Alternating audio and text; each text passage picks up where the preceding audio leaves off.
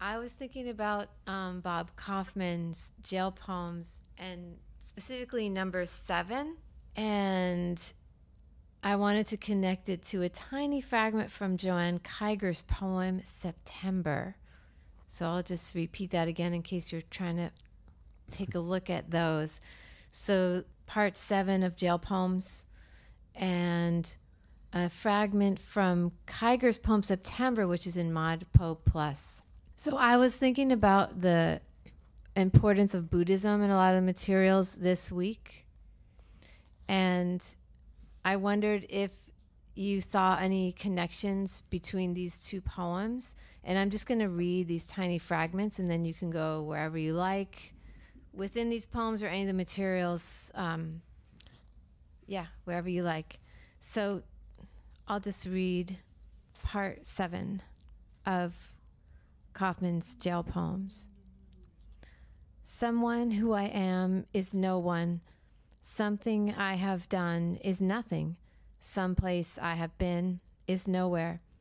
I am not me. What of the answers I must find questions for? All these strange streets I must find cities for. Thank God for beatniks. And then in Joanne Kyger's poem, September, the world of transformation is real and not real, but trusting. And then a little later down, well, I am not myself.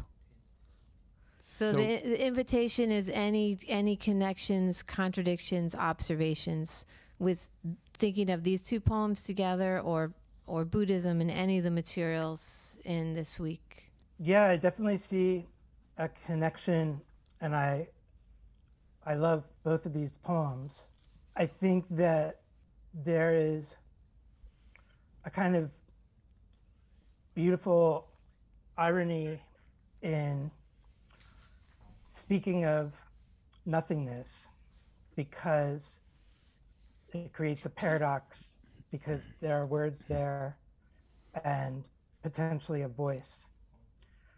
But but it undoes itself and connects us to really what is beyond language that which can't be said for which there's no vocabulary for.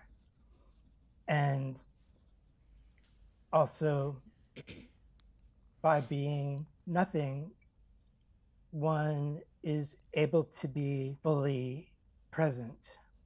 And it seems like especially to improvise one can't be self-conscious and so i see in both pieces kind of a willingness to get beyond the self I have no words, Jason.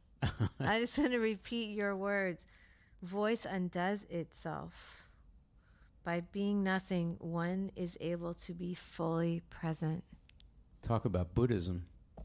There we are. Nothing and everything. Awesome.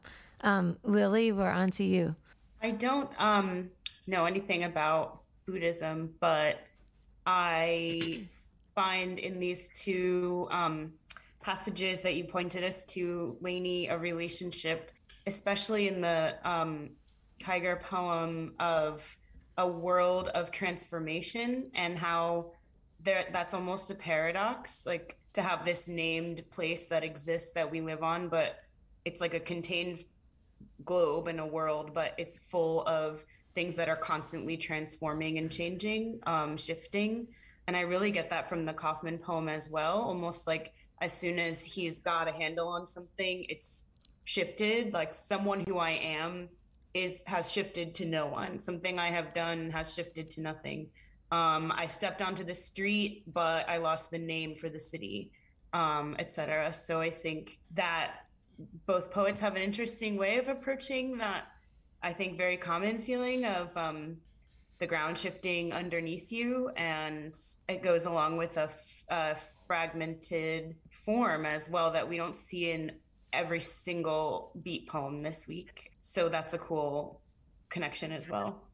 That phrase of the the the ground shifting beneath us is really jumping out at me in your comment, and um, it makes me think about how you know reality is not what we think. Is we could say that's Buddhist, but we could also say that it's beat, right? Like everything is is ripping a hole in the surface of reality, like Howl, right? Is trying to pierce through. Um, superficial or, or understandings of the world that we take for granted that aren't necessarily true. So, and and also like altered consciousness of the speaker, like looking out onto the world and kind of seeing a truth or I don't know some some position that a speaker has that allows them to see that through that thing that's been pierced or altered. Yeah, like all these strange streets I must find cities for. Nice. It, it causes us to reimagine where we are and what our surroundings are and how we understand our place in whatever those surroundings are. Awesome. Thank you, Lily. Erica, what would you like to add or ask here? I'm thinking about attentiveness as being something also that joins these poems and questioning. And I wanted to, instead of really commenting, I immediately found myself thinking about um, an an excerpt from an essay by Anne Waldman, but maybe it's a poem too. I'm not sure how to what to call it. Called Outrider, and she's she's talking about um, her poetics, but also a certain poetic ethos that she's connecting with Ginsberg and with um, the Jack Kerouac School at Naropa University. So here's something that I think also applies to everything we've been talking about with the Kaufman and the Kyger. So Waldman says, um, wild mind, elegantly self-disciplined, and was also Buddhist. So there there is this Buddhist element that permeates Anne's work. And what she's doing in this outrider piece is is saying something about beat writing and Buddhism, I think, and also about um, pedagogy and poetic communication that I just immediately was associating with the two poems that we're looking at.